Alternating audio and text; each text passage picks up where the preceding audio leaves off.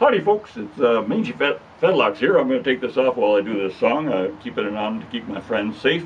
Uh, I got my uh, Be Your Own President t-shirt on today. I got from the Stephen Colbert show uh, because uh, since we don't have a regular president anymore, uh, we get to be our own and because we can make a lot wiser decisions. um, I got a, a, just a short little song. It can't be too long because my brother's coming over. We're going for a motorcycle ride because it's a beautiful day here. So I, I hope this goes well, and I, I hope you're doing well. Trump says that he defends freedom of speech, but it's idiots alone his statements reach. Cause defense of speech is merely a cliche when even family members sign an NDA.